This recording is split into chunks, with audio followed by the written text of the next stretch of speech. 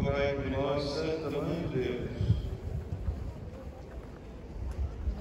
Oremos, segundo o Senhor, a vossa graça é nas nossas